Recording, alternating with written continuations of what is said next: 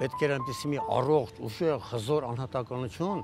որ հայ ժողովրդի ողբերությունը վերաիմաստավորեր, նոր աշխարհի մեջ մտցներ, դարձներ նոր իրականություն։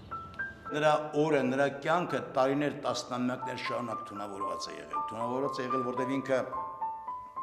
բավական անհանգիստ բնավորություն էր, կարծես ինքը իր դեմ ճշտամիներ էր ստեղծում անընդհատ իր պահվածքով, իր խոսքերով։ Դա բոլորը իրագրվածները բոլորն են արգելված են։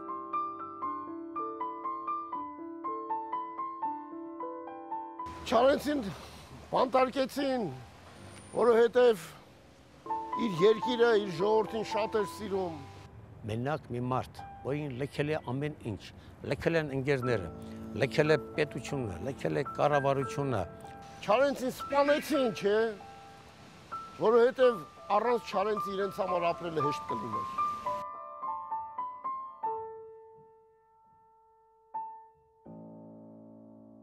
Լավ տղա էր, շատ անուշխենթ էր։ Նայում ես բանաստեղծությունը, տեսնում ես Չարենցին աշխարհն է հետաքրքրել։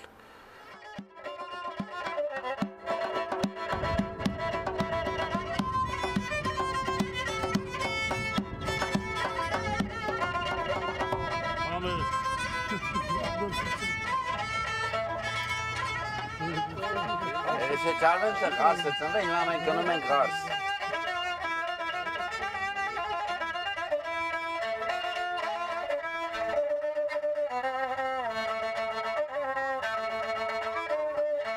Երիշե Չարենց,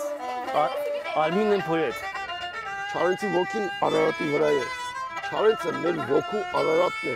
20-րդ տարի եւ մեր բոլոր ժամանակների մշակութային գրական բանաստեղծական Արարատն է։ Ես եմ հիմա մի պոետ եւ իմ անունն է Չարենց։